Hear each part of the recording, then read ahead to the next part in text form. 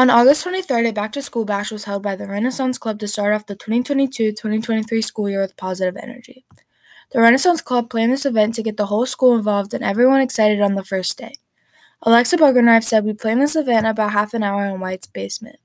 With the little amount of planning time, the event turned out good and did exactly what the Renaissance Club is all about. Santino Carnavale said the goal is just to make kids actually enjoy school and enjoy the time that they're here.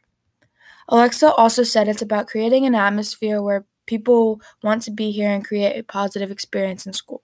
This event did all of that and more with the games and traditions that went on.